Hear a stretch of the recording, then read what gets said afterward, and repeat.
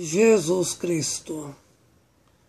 De fato foi comunista e de Jardias de Vasconcelos, pena por crucificação, aplicada tão somente aos prisioneiros políticos, os quais eram considerados terroristas contra o Estado romano.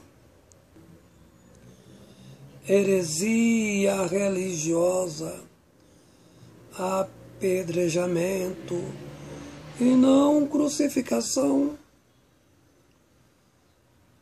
Todo crucificado só era crucificado por razões políticas o caso específico de Jesus Cristo e tantos outros, entre eles o escravo Espartacus. O Império Romano precisava eliminar Jesus Cristo por diversos motivos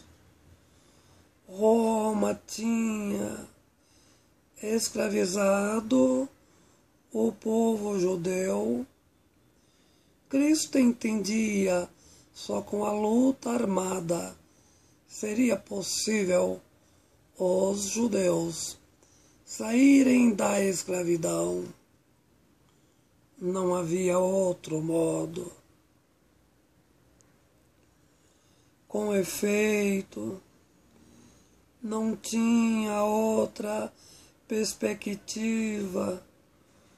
Ou a luta armada, contrariamente, o povo judeu seria eternamente escravo, motivo pelo qual Jesus defendeu a luta armada contra o exército romano. Jesus Cristo foi também crucificado em defesa da luta de classe, era comunista, defendia o comunismo primitivo, a propriedade deveria pertencer à própria tribo. Todos eram iguais economicamente. Jesus politicamente estabeleceu o comunismo entre os seus discípulos Todos viviam do próprio trabalho. Os discípulos tinham os bens em comum. Portanto, Jesus Cristo foi um radical de esquerda do seu tempo. Não reconhecia o imperador Tibério como imperador de Roma. Aconselhava o povo judeu não pagar impostos. Jesus foi revolucionário. Che Guevara, perto de Jesus Cristo, seria hoje um reacionário. Entretanto, Jesus Cristo foi deturpado politicamente a partir do imperador Constantino. Sobretudo, depois do ano trezentos e 13.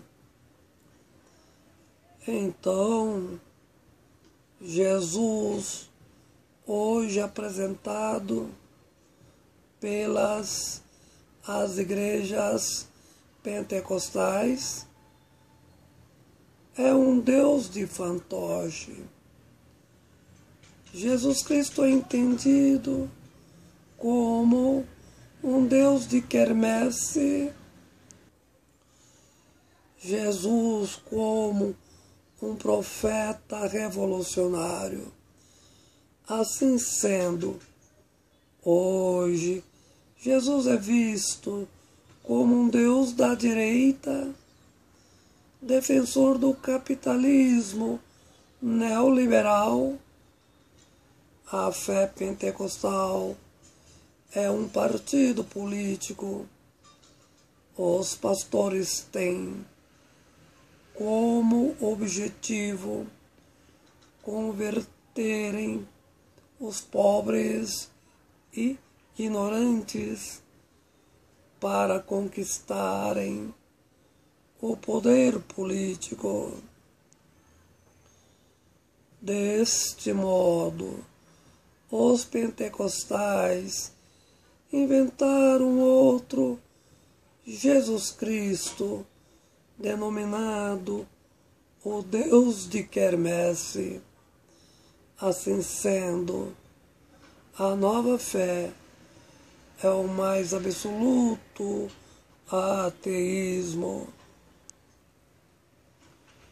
E de Jardias, de Vasconcelos,